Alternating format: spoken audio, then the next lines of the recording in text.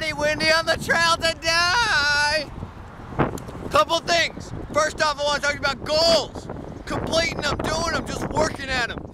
I recently hit uh, 1,000 miles on my speedometer. I've had the bike for uh, four months, a little over.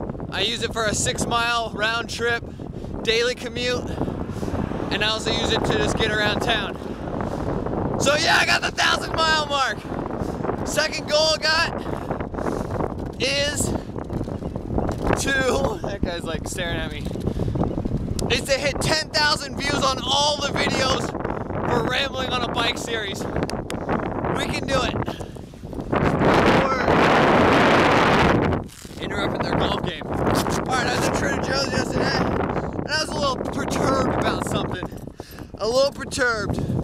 I was wondering what's going on with their pretzel mix because I had to pay like four dollars to get some pretzels with some peanut butter inside. This is my lunch.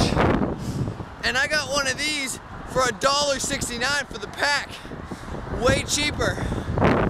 Only problem is no peanut butter inside. So you know what? I got my own peanut butter dip that I got for cheaper.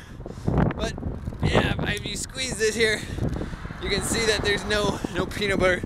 But it's still a pretzel. Let's not look at the bad side here. We still get a pretzel out of it. That's my PB&J. This ain't gonna go back very well. Oh, go Timbuktu! So, goals! Complete them, eat your pretzels! We can do it, we can save the world this way, you know? Freaking TJ's and their crazy prices and no sales and no coupons. That's the segment!